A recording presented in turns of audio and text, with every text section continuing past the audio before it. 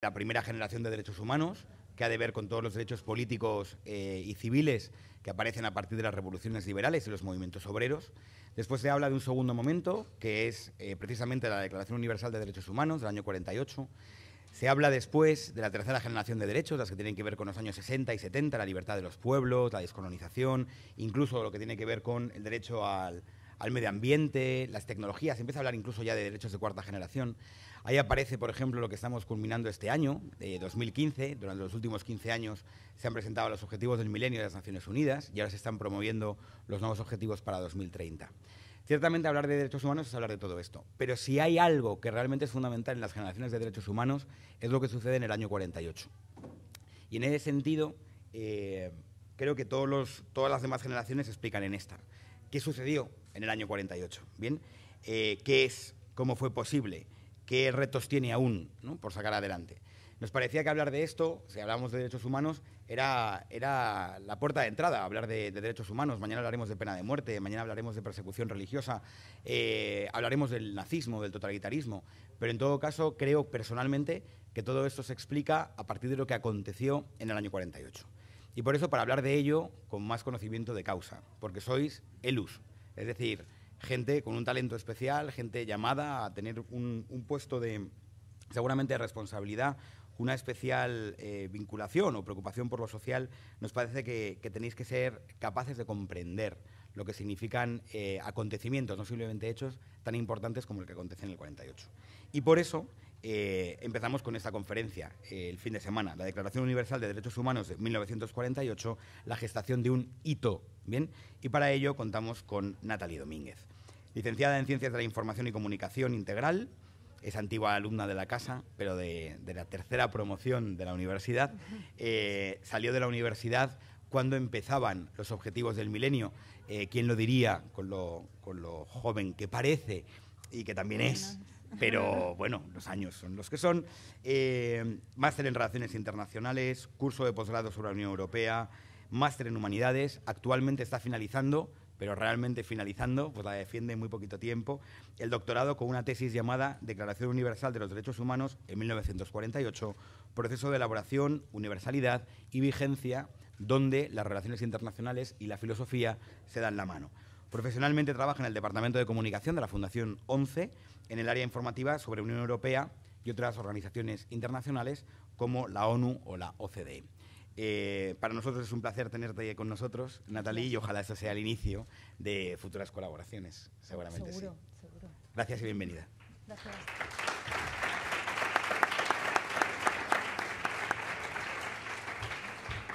Muchísimas gracias a todos. No os voy a leer esto porque he venido con este tocho, que es el proyecto de tesis precisamente, o sea que no os asustéis, simplemente tengo unas anotaciones. Voy a ser muy breve en el tema de la presentación sobre el proceso de elaboración porque realmente es muy complejo. Es decir, eh, se crearon muchos comités, muchos subcomités, muchos grupos de trabajo y todo eso, aparte de a la hora a la que estamos, puede resultar bastante aburrido y más para no romper la dinámica tan divertida con estos vídeos tan fantásticos y que tocan temas tan reales, eh, voy a ir al grano. Es decir, voy a hacer un breve repaso, una síntesis de qué pasó en esos dos años desde el 46 en el que se crea la Comisión de Derechos Humanos hasta el 48, cuando por fin, después de luchas y debates intensos, eh, pues nos encontramos con este texto tan maravilloso y sobre todo qué es lo que supone hoy en día. Y una reflexión, que es lo que más me importa, lo que más me interesa a mí, es eh, dejar abierta una reflexión para vosotros. Yo no le voy a dar respuesta, sino que me gustaría que fuerais vosotros hoy o a final del curso o dentro de unos años o dentro de unos días o de unos meses, que le dierais respuesta, que reflexionarais sobre ello y que llegarais a vuestras propias conclusiones.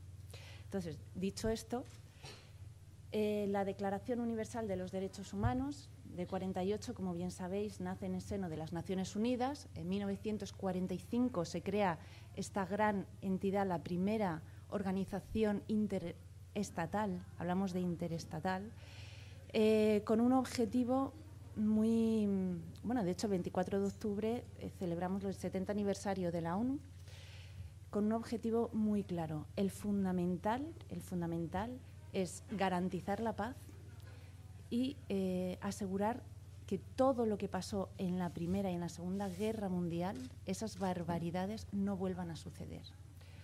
¿Cómo? Ahí está la clave.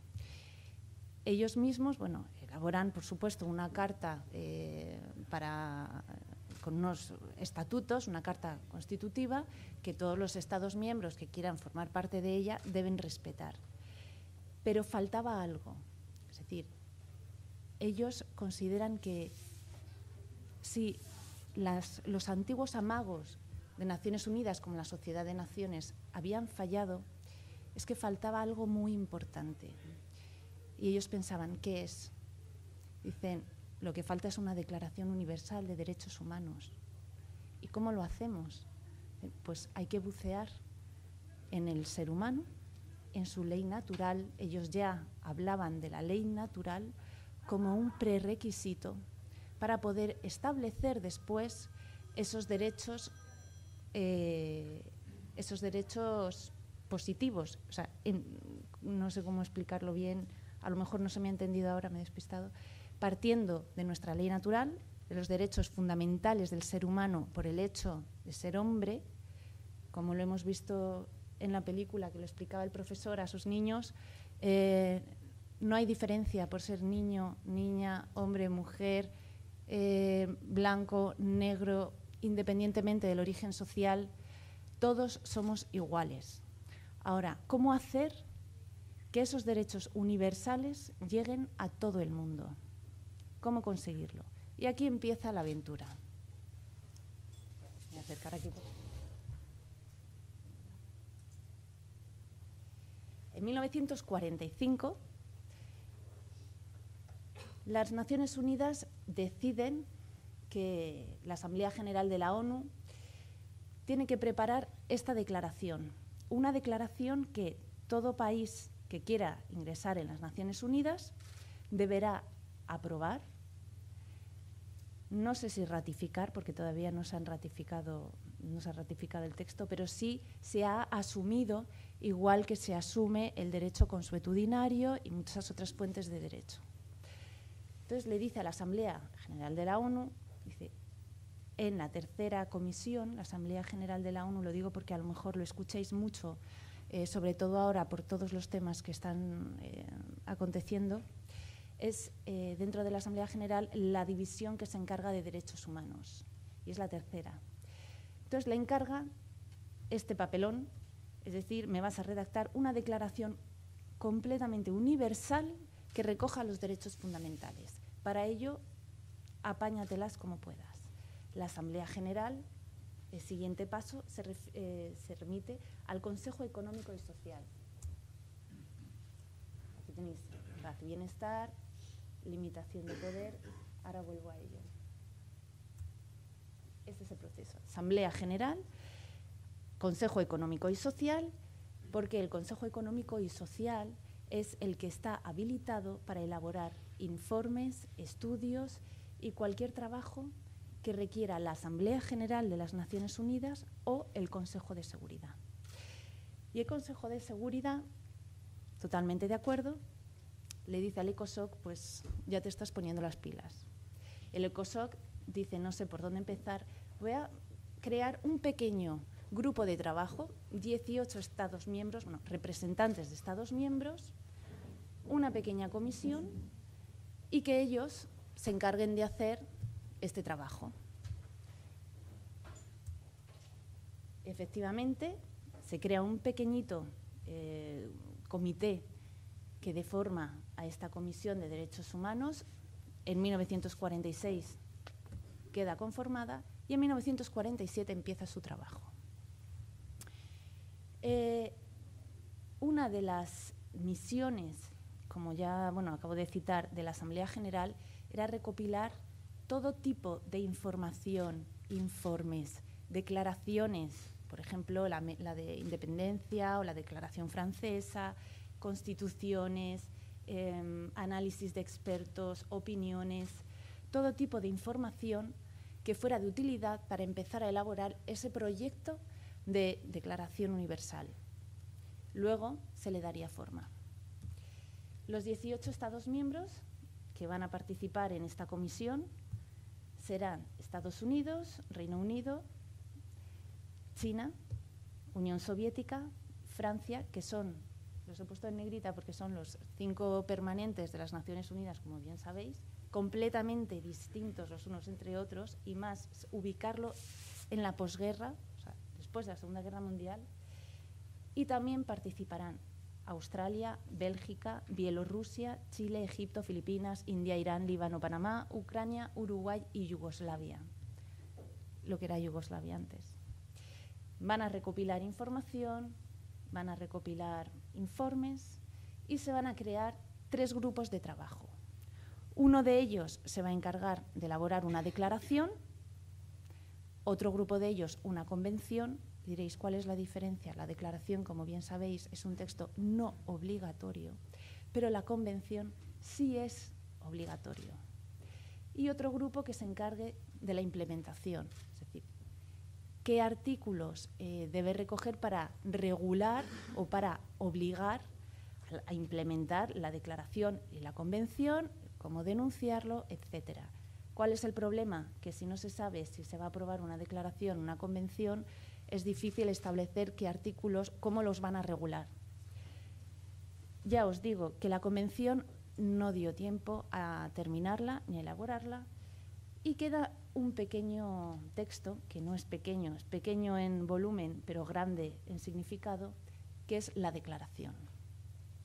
De esta declaración se van a ocupar Eleanor Roosevelt, que es la representante de Estados Unidos, René Cassin, que es un jurista francés de origen judío y que perdió toda, absolutamente toda su familia en manos alemanas, Charles Malik de Líbano, Humphrey de Canadá, Santa Cruz de Chile, Koretsky, uno de los representantes de la Unión Soviética, Wilson de Reino Unido y Hodgson de Australia.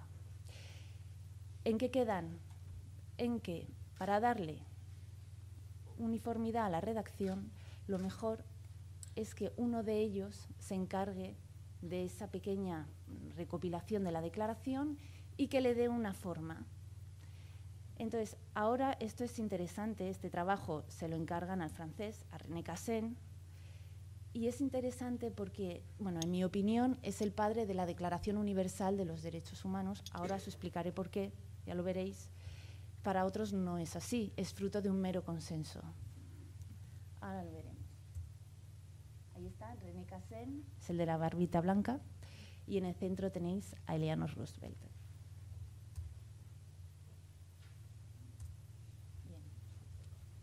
¿Cuál es el principal objetivo? Como hemos visto. Primero es la universalidad. Tiene que ser un texto que, recoja los derechos fundamentales de todos los seres humanos. ¿Cuál es el problema? Que para muchos tiene que ser un texto meramente eh, legislativo, legal.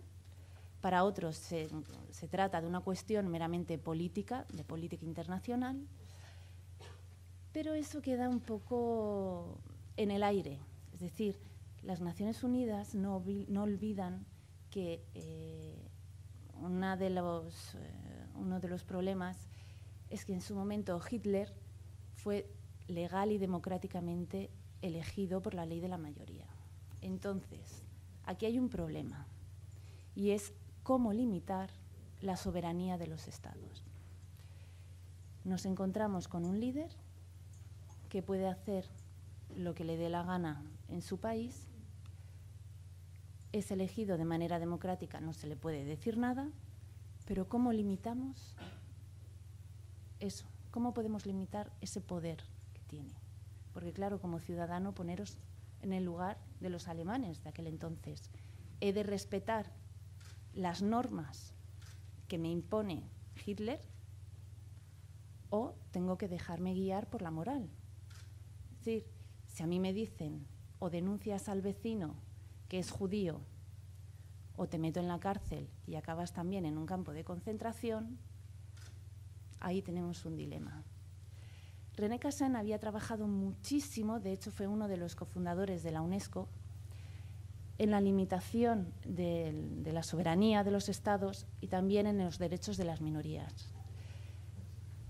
Y es un hombre que además había estado en contacto, había viajado muchísimo con otros juristas, especialistas en política exterior, derecho internacional público, y también con muchísimos filósofos, muchísimos filósofos.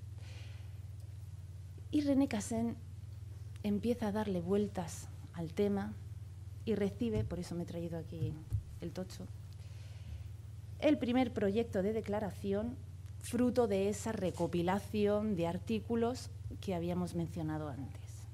Les voy a hacer una pequeña comparativa, no os voy a leer todos los artículos, no os preocupéis porque es una barbaridad, pero para que veáis la diferencia. René Cassin tenía muy claro que faltaba algo. ¿Y qué faltaba para dar universalidad? Reconocer la ley natural de cada uno, nuestros derechos fundamentales, que todos somos iguales. La, la clave, la palabra clave, era filosofía. Muchos dicen, ¿cómo es posible que la filosofía se interponga en un texto que tiene que ser meramente político o de derecho? ¿Por qué no? A fin y al cabo, quienes lo, elaboran, quienes lo redactan, son seres humanos. Y digo yo, si el hombre elabora el derecho y el hombre elabora la política, quieras o no, su ley natural está presente también en esos artículos. Él habla de filosofía y efectivamente dio la clave para que ese texto fuera universal. Comparativa. Comité de redacción de la Comisión de Derechos del Hombre ante Proyecto de Declaración Internacional de los Derechos del Hombre.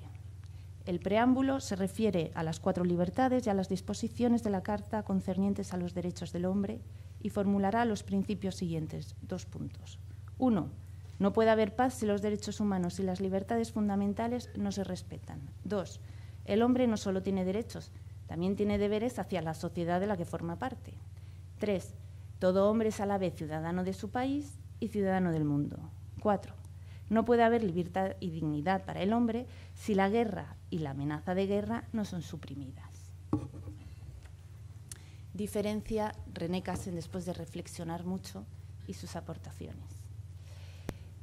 Nosotros, pueblos de las Naciones Unidas, considerando, uno, y esto es muy importante, yo os invito a la reflexión en estos aspectos, uno, que la ignorancia y el desprecio de los derechos del hombre han sido una de las causas más importantes de los sufrimientos de la humanidad y de las masacres y actos de barbarie que han ultrajado la conciencia humana antes y especialmente durante la última guerra mundial. Ya empieza a incorporar eh, no una justificación, pero un aspecto que también es muy antropológico y que puede influir, y es la ignorancia. La ignorancia por el verdadero valor de la persona. La ignorancia que hace que realmente nos dejemos llevar por la ambición, corrupción, por la violencia, etc. Dos, que no puede haber paz verdadera si no se respetan los derechos y libertades del hombre y que, correlativamente, el respeto de sus derechos y libertades no puede asegurarse a todos si no es mediante la supresión de la guerra y de su amenaza. Tres, que el establecimiento de un régimen en el que los seres humanos serán libres para hablar y creer y estarán protegidos del terror y de la miseria, ha sido proclamado como el objetivo supremo de la reciente lucha.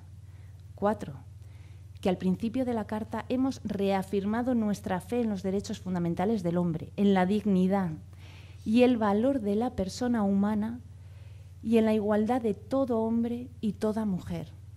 Ya en los considerandos ya las empieza a lanzar. Que, cinco, que uno de los objetivos de las Naciones Unidas es realizar la cooperación internacional desarrollando y alentando el respeto de los derechos del hombre y de las libertades fundamentales para todos sin distinción de raza, sexo, idioma o religión. Como veis, no espera incluirlos en los artículos de momento, sino que desde el principio deja claro los valores de la persona humana. Seis, que es importante que estos sean protegidos por la comunidad organizada de las naciones y garantizados tanto por la ley internacional como por las leyes nacionales. Hemos resuelto definir en una declaración solemne los derechos esenciales y las libertades fundamentales del ser humano con el fin de que esta declaración constantemente presente en el espíritu de todos los hombres, les recuerde sin cesar sus derechos y sus deberes y con el fin de que las Naciones Unidas y sus Estados miembros puedan constantemente inspirarse en los principios así formulados para hacer de ellos una realidad. Esa es la diferencia en los preámbulos. Falta poquito, ¿eh? ya termino. Artículo 1 del proyecto con el que se encuentra CASEN. Todo individuo tiene un deber de lealtad hacia el Estado al que pertenece y hacia la sociedad internacional, las Naciones Unidas. Debe adoptar su justa parte de responsabilidad en el cumplimiento de sus deberes hacia la sociedad y su parte de sacrificio común necesario para el bien general. René Cassin. Todos los hombres son hermanos. Artículo 1. En tanto que seres dotados de razón y miembros de una única familia, son libres e iguales en dignidad y en derechos. nada que ver. Empieza por donde tiene que comenzar, reconociendo que todos los hombres somos hermanos. Hay mucho de metáfora. Él fue muy criticado durante los debates por el tema, pero ¿cómo que hermanos? ¿Qué es esto de hermandad? De una única familia. Pues única familia comprende que todos tenemos el mismo origen, porque todos somos seres humanos y por lo tanto somos libres e iguales en dignidad y en derechos. Artículo 2 del proyecto de la Asamblea General. Los derechos de cada uno están limitados por los de los demás y por las justas exigencias del Estado y de naciones. Tan panchos. Artículo 2 de René Cassin. La misión de la sociedad es dar a todos sus miembros la misma posibilidad de desarrollar plenamente su cuerpo, su espíritu y su personalidad. Importantísimo, la sociedad. La sociedad en aquella época ya adquiere un papel relevante. Hablamos de sindicatos, ya no hablamos de la Edad Media en la que hay un príncipe y todos los campesinos alrededor, no. La sociedad tiene un papel preponderante y tiene sobre todo son personas, tienen una ley natural y tienen que defenderse. Estamos hablando ya de democracia. Artículo 3 de la Declaración de la Asamblea. Todo individuo tiene derecho a la vida. Este derecho puede denegarse a las personas que han sido condenadas conforme a la ley por un crimen vinculado a la pena de muerte. Prefiero no comentar este aspecto porque os lo imaginaréis. ¿no? Nada más empezar, artículo 3 ya empieza por la pena de muerte. Artículo 3 de René Cassin. El hombre, siendo esencialmente social, tiene deberes fundamentales hacia la sociedad y hacia otros individuos. Cada uno está limitado en sus derechos por los derechos del otro. Segunda alternativa que él propone para el artículo 3, el hombre no pudiendo vivir y realizar sus fines sin la ayuda y el apoyo de la sociedad, tiene cada uno hacia esta deberes fundamentales. La obediencia de las leyes, el ejercicio de una actividad útil, la aceptación de cargas y sacrificios exigidos por el bien común. Eh, uno más. Artículo 25 de la Asamblea General todo lo que no está prohibido por la ley está permitido. Eso ya, vamos, es de coño directamente. Como comprenderéis, si esto cae en manos de un legislador eh, tipo Hitler y dice, mira, todo lo que no está prohibido por la ley está permitido, si tú aceptas esto, y pues, como no tiene ningún sentido. Así no se puede limitar eh, el poder de una soberanía, así no se puede llegar a la ley natural, al fondo de la cuestión, al ser humano, un texto universal.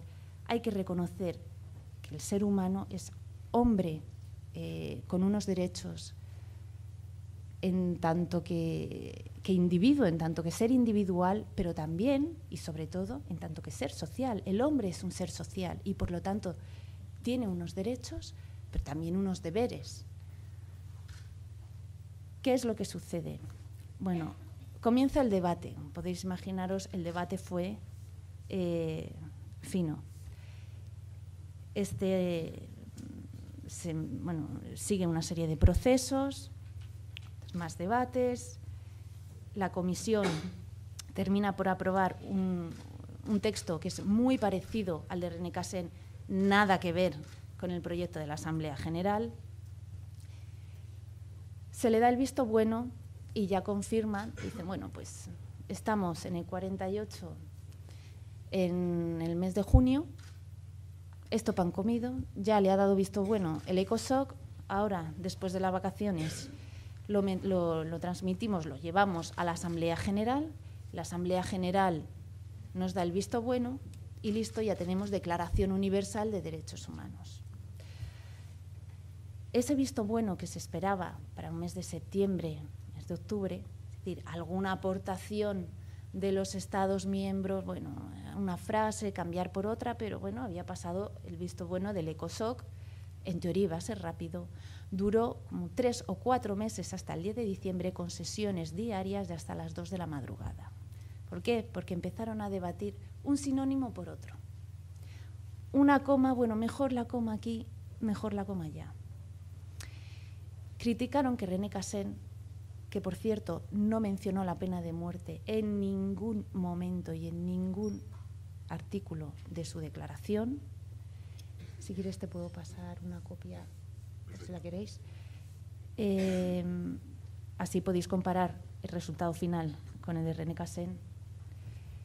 Se le criticó porque no mencionó la condena explícita al nazismo y es algo que realmente daba pavor en aquel momento, como os podéis imaginar. ¿Qué pasa? Que René Cassin fue más astuto que eso. Y su justificación es, si yo no menciono el nazismo, es porque si vais al final de todo, de la declaración, y cómo quedó, por cierto, que también tenéis la Declaración Universal por ahí, dice,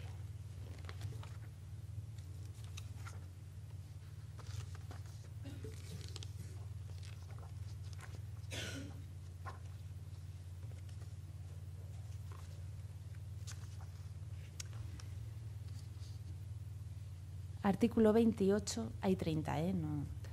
Artículo 28. Las disposiciones del presente pacto serán aplicables a todas las partes componentes de los Estados federales, sin limitación ni excepción alguna.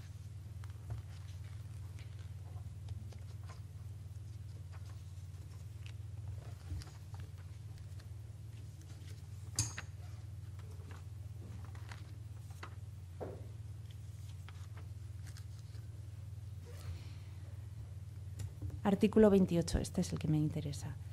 Toda persona tiene derecho a que se establezca un orden social e internacional en el que los derechos y libertades proclamados en esta declaración sean plenamente efectivos.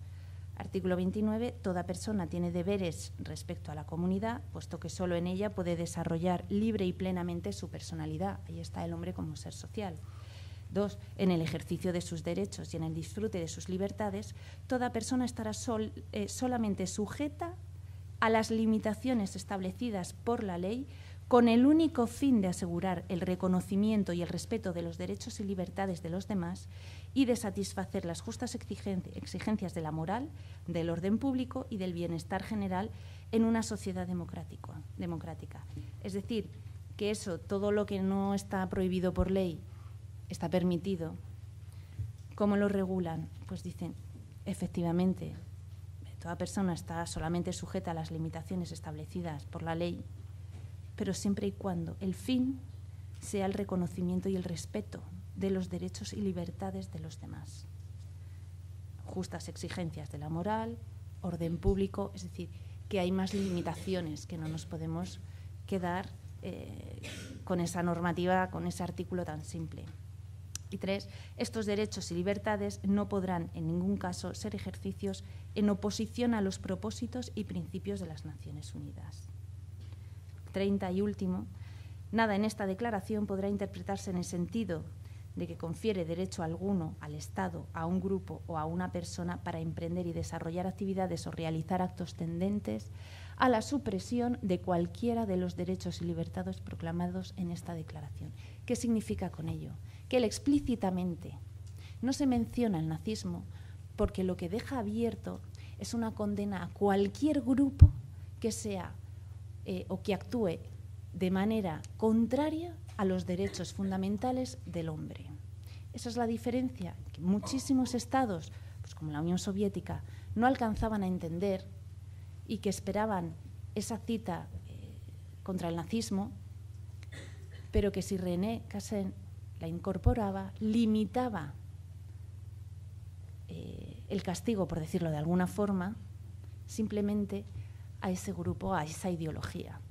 Se trataba precisamente de dejarla abierta y penar todo tipo de actuación contraria al ser humano. Bueno, dicho esto, no os quiero entretener mucho porque si no os vais a dormir. Este hombre que veis aquí es Pavlov, sobrino del famoso Pavlov, dicho sea de paso, representante de la Unión Soviética. A mí me parece un hombre excepcional por el carácter que tiene, lo que pasa que es bastante duro en sus palabras y no se anda con peteneras. El debate que mantuvieron, bueno, que mantuvo sobre todo Pavlov con todos los miembros de la Asamblea fue eh, bastante duro y muy, muy complejo. Sin embargo, refleja bastante bien no solo el contexto histórico de aquel momento, sino también la tensión vivida por aquel entonces. Y con ello quiero llegar eh, a un punto importante, y es que todas las decisiones, todo lo que hagáis, al final se reduce a nuestra voluntad. Yo tengo una anécdota, eh, bueno, que la, he vivido, no, no quiero aburriros tampoco. A mí me gustaban mucho las relaciones internacionales y me animaron, ¿por qué no?, a realizar este máster en humanidades. Yo dije, ah, pues lo voy a hacer, me voy a apuntar. No sabía eh, de qué hacer el trabajo, pero no tenía ni más remota idea. Y me decían, mira, después de estos dos años tienes que hacer un trabajo sobre algo relacionado con el máster en humanidades o eh, un proyecto de tesis. Y yo digo, Dios mío, ¿yo qué voy a hacer? No tengo ni idea, no controlo nada de este tema yo soy de relaciones internacionales, no tengo ni idea de humanidades, además yo hice ciencias puras en, el bachillerato, y yo, ¿qué voy a hacer aquí? Digo, bueno, pues nada, me dejé guiar. La verdad es que el máster fue la pera, he de decirlo, porque aprendí a conocerme a mí misma y a conocer a los demás, sobre todo el aspecto antropológico, eh, que me abrió las puertas del mundo, y os lo digo en serio, se abre la mente. Y además aprendes a reflexionar, aunque ya tengas un espíritu de por sí reflexivo, aprendes a reflexionar muchísimo más sobre tus actos y tus consecuencias.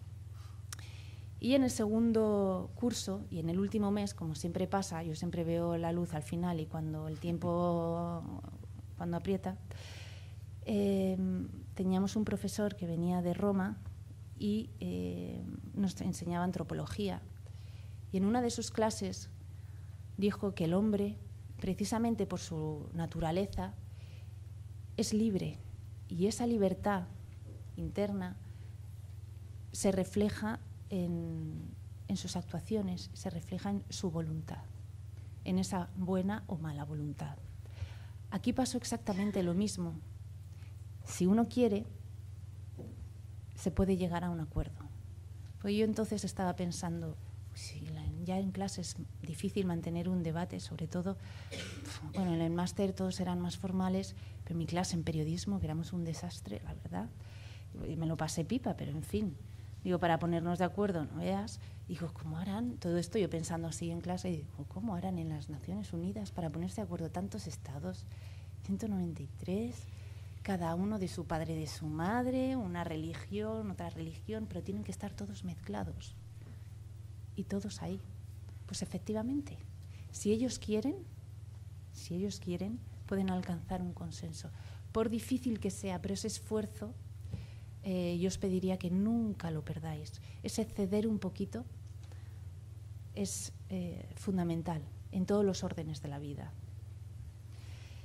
Si queréis, yo no sé, porque es un poco tarde a lo mejor y os puede aburrir, me gustaría para que veáis estas dificultades y en qué punto se llegaron a encontrar en ese momento de debate y de tensión porque pensaban, la pobre Eleanor Roosevelt, que es la que presidía la Comisión de Derechos Humanos, yo no sé cómo no le dio un infarto cerebral, porque esa mujer, entre las pocas horas que durmió y las batallas en las que tuvo que interceder, eh, la verdad es que fue una mujer fascinante.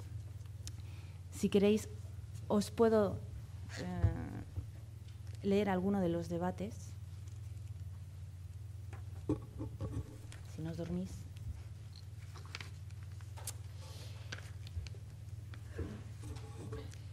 Por ejemplo, haciendo referencia, todo individuo tiene derecho a la vida, a la libertad y a la seguridad de su persona, cuando estaban debatiendo este artículo,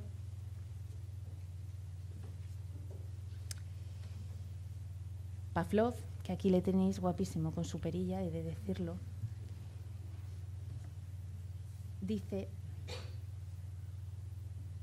remontándose al último cuarto del siglo XIX, en el que 15 millones de personas murieron de hambre en las Indias. Según las estadísticas publicadas por la prensa británica, todo esto atacando a los países capitalistas. La edad media de vida probable era de 26,9 años en 1931. Tenía la lección bien aprendida. ¿eh? Mientras que en Inglaterra y en Gales era de 60 años en 1933. A veces se atribuye esta situación a los factores geográficos y climáticos. Sin embargo, la diferencia entre la tasa de mortalidad de la población de las Indias y los europeos residentes en las Indias, ya hablamos de colonización.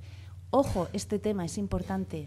Por eso os digo, que aunque no parezca que hable de los seres, de, la Declaración Universal de los Derechos Humanos, sí os empieza a situar en un contexto en el que se habla ya de esclavitud, descolonización y se están adoptando ya medidas para precisamente tratar este tema. A veces atribuye esta situación a los factores geográficos, climáticos, sin embargo, la diferencia entre la tasa de mortalidad de la población de las Indias y los europeos residen residentes en las Indias prueba que estas situaciones fueron el resultado de los métodos de la administración colonial. Además, las estadísticas de 1933 muestran que la mayoría de las muertes de estos nativos se debieron al agotamiento y no a factores de orden climático. Asimismo, eh, Pavlov cita las observaciones realizadas por una senadora americana que se llamaba Caraway, según las cuales más de mil americanos fallecieron por hambre y cansancio en 1931. Y además, dice, en nuestro caso, la Unión Soviética ha abolido la pena de muerte y despliega todos sus esfuerzos para crear condiciones de vida dignas del ser humano. Hablamos de la Rusia más comunista ¿eh? en aquel momento. Pero el caso es que lo que estaba diciendo de pena de muerte y luego vemos de discriminación, y cómo colgaban a los negros de los árboles y de los esclavos, era verdad. Entonces, te da rabia, pero al mismo tiempo tienes que reconocer que tiene razón y que todos los estados de las Naciones Unidas tienen que empezar a tomar medidas de manera urgente. El socialismo humanitario que ponemos en práctica en este país, haciendo referencia a la Unión Soviética, hace que la pena de muerte no esté autorizada salvo en periodo de crisis. Yo no sé lo que pasaba dentro de su Estado, pero esto de cara afuera y su legislación es verdad que reconocía lo que está diciendo. como por ejemplo en tiempos de guerra. Existen en este siglo otros fenómenos que suponen una amenaza para la vida eh, humana. En presencia de un arma de agresión como la bomba atómica, que haría reinar la muerte y el terror entre las poblaciones civiles sin defensa, parece irónico hablar de derecho a la vida. Eso es el primer golpe a Estados Unidos. Ahí, como veréis, ya empiezan, las empieza a mandar ¿eh? y las mandó bien. Eh, hay otra de sus intervenciones que me gustaría leeros también y que marqué antes.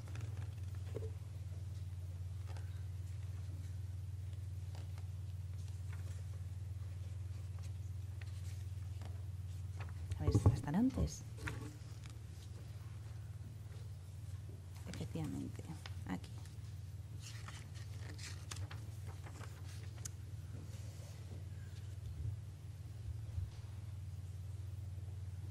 Él dice, la teoría por la que todos los hombres nacen libres e iguales constituye una base poco sólida para la declaración La igualdad de derechos ante la ley no viene determinada por la naturaleza, sino por la estructura social del Estado, que debe promulgar las leyes que aseguren esta igualdad. Así, es obvio que en la época feudal los hombres no nacían libres ni iguales. Y además se pregunta si la declaración es el lugar más apropiado para tratar del origen de los derechos humanos. Si esa es la intención de la comisión, hay que recordar que, en la declaración que el hombre debe ser considerado como miembro de la sociedad en el estado actual de las cosas, es esta pertenencia la que determina sus derechos y sus deberes. Y respecto al espíritu de fraternidad que se había recogido, él considera que se aleja demasiado de las realidades del mundo capitalista moderno como para ser aceptado, la sigue lanzando, las relaciones entre Reino Unido y la Malasia británica. Sabéis que fue colonia de, Reino Unido.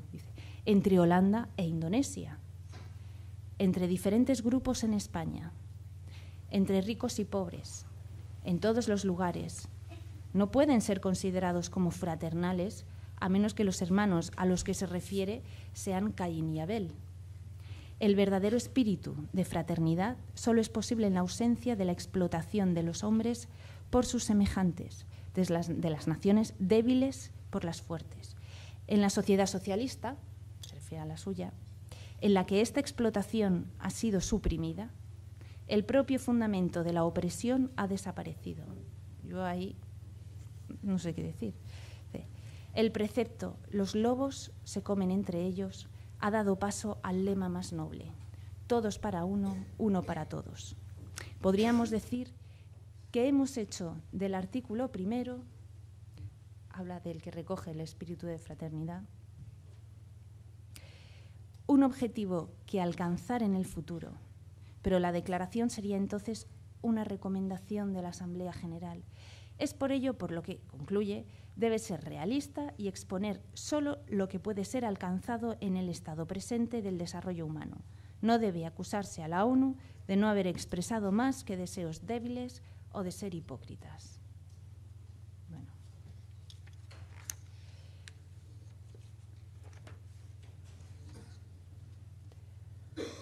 Otro de, sus eh, añadidos hablando también de, las colonias británicas.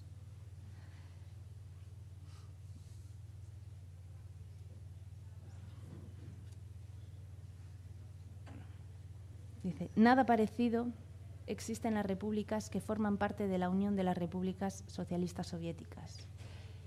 Más de 60 pueblos cohabitan pacíficamente, las luchas que ensangrientan periódicamente a algunos países son desconocidas y todos los pueblos disfrutan de una perfecta igualdad en todos los ámbitos de la vida política, económica y social. Eso seguro, eso desde luego allí. Dice, esta igualdad está expresamente garantizada en la Constitución de la URSS y toda medida discriminatoria, sea cual sea, está castigada por ley. Y el caso es que tenía razón. Otra cosa es que lo practique o no lo practiquen, pero el caso es que tenía razón. Yo lo único que os quiero decir con esto es que realmente hay veces que parece que su discurso eh, llega a salirse, a desviarse del tema, no sé si era por el agotamiento, simplemente porque tenía que soltar lo que tenía en la patata y quedarse a gusto en plena eh, asamblea general. En cualquier caso, superaron sus diferencias. Superaron sus diferencias no significa que se lleven eh, con ese espíritu de fraternidad, eh, lo que significa es que se pusieron de acuerdo, aunque se abstuvo, pero bueno, dio su visto bueno a esa declaración. Eso es lo importante y ese es el mensaje con el que hay que quedarnos. En ese sentido, eh, la declaración supuso un antes y un después y por otras muchas cosas. Y ahora es cuando me gustaría que vosotros reflexionarais. Y a Leonor Roosevelt eh, sujetando el 10 de, diciembre, por fin la pobre mujer pudo ver cómo todo el mundo descansaba. Y esto, teniendo en cuenta el contexto, que es el de la Segunda Guerra Mundial, si vosotros creéis que si no hubiera habido esa guerra, se habrían redactado los mismos derechos fundamentales, ni siquiera si se habría pensado en elaborar una declaración universal de derechos humanos. todos sabemos que el hombre ha ido evolucionando desde el punto de vista social a lo largo de la historia. No todas las sociedades nos han permitido, yo diría, a lo mejor eh, erróneamente, pero yo diría descubrir esos derechos fundamentales. Y que puede ser que las circunstancias históricas son las que nos han ido ayudando a darnos cuenta de nuestro verdadero papel en la sociedad, que no solo somos hombres sociales, sino que también tenemos cosas que decir, somos partícipes de ella, que nosotros somos los que conformamos el Estado y el Estado que nosotros elegimos también tiene que asegurarse de nuestro bienestar. Y en la actualidad, regresando a 2015, si creéis que hay que actualizar la Declaración Universal pese a recoger nuestros derechos humanos, esto os lo pregunto porque, eh, aunque muchos han quejado de esta declaración, la llaman obsoleta, pasada de moda, ya no pinta nada, eh, esta declaración no, no ha sido modificada ni en una sola coma. Sigue siendo válida, perfectamente válida. Yo creo que es porque en su esencia, la forma es discutible, yo ahí no voy a entrar, pero yo creo que la esencia realmente eh, no solo es universal, sino que es vigente en el tiempo. Puede equipararse a cualquier tratado. También os lo dejo a vosotros. ¿Y cuál es el papel del derecho positivo y la evolución de la sociedad? Eh, yo dije antes que realmente el derecho positivo no se puede comprender si no comprendemos que el hombre tiene unos derechos fundamentales que proteger, que respetar y que garantizar. Partiendo de ese conocimiento, como decía René Cassin, eh, evitando esa ignorancia, ¿no? pues partiendo del conocimiento del verdadero significado de las personas, podemos elaborar las normas, las leyes en todos los ámbitos de la vida de hecho, incluso en el ámbito empresarial hablamos de responsabilidad social corporativa. Cada vez somos más conscientes eh, de que hay colectivos vulnerables por los que también hay que trabajar para su inclusión en la sociedad, eh, que hay un papel muy importante, sobre todo en el contexto de la protección medioambiental. ¿El papel del derecho positivo se puede entender sin la declaración? Yo creo que no el derecho positivo como tal, aunque muchos dicen eh, que la ley universal, que la ley eh, natural del ser humano es un tema meramente católico, que es un tema inventado por la sociedad capitalista, que mm, no es más que una moral procedente de la religión. Yo creo que si no se conoce verdaderamente ese punto en común que tenemos, esos derechos iguales que tenemos, no se puede comprender eh, el derecho positivo en nuestros días.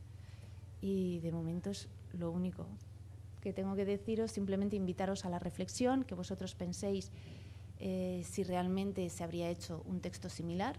Puede, porque el hombre, eh, desde el punto de vista antropológico, siempre va en busca de la verdad y siempre se plantea pues, su existencia, dónde llegará, dónde acabará, qué hay después. Tal vez sí, tal vez sí. Al fin y al cabo hemos visto cómo hay puntos eh, de origen.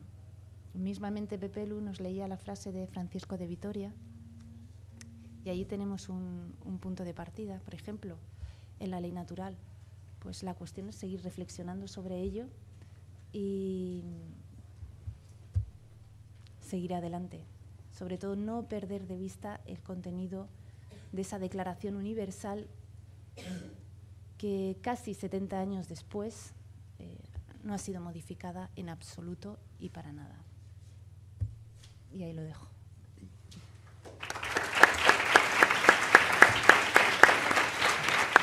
Bien, bueno, primero Natalie, muchas gracias por, eh, bueno, uno por ajustarse al tiempo. Le dijimos unos 45 minutos para presentar la cuestión y luego ya... ¿Cuánto tarda? 45 minutos. Vaya. Sí, sí, clavaos. Eh, entonces, La idea era esta, hacer una pequeña introducción, comprender la complejidad de la, de la declaración y, como sabéis, eh, nos gusta dejar paso para poder tener un coloquio largo, bien, eh, hacer las preguntas oportunas, pertinentes.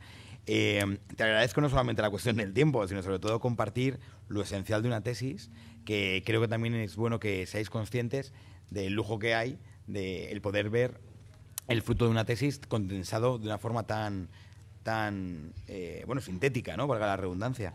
Eh, a mí me han dado unas ganas tremendas de leer tu tesis, cosa que haré eh, cuando por fin esté publicada. Pero en todo caso creo que han aparecido temas muy interesantes sobre la ley natural, sobre las naciones bien diversas que tienen que hacer un consenso, si el consenso es posible, si es cuestión solamente de un autor o de varios, que hay que ver con la universalidad, con la legalidad, con la moralidad, bien la cuestión de la recopilación de los documentos, el debate sobre los conceptos, el bagaje ideológico de los representantes, eh, la superación de las diferencias. Eh, bueno, creo que son demasiadas cosas, seguramente como para poder hablar en los próximos 45 minutos que tenemos, pero por lo menos algo seguro que avancemos.